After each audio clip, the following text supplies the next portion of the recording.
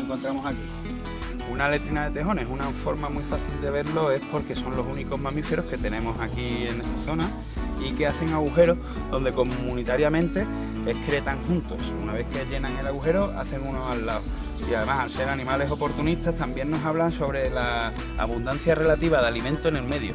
Luego, si nosotros somos oportunistas y tuviéramos hambre, verdaderamente hambre, podríamos ir a sus letrinas a ver cuál es la abundancia relativa. En junio encontraremos cerezas, julio normalmente litros de escarabajo y en agosto ya empieza la zarza.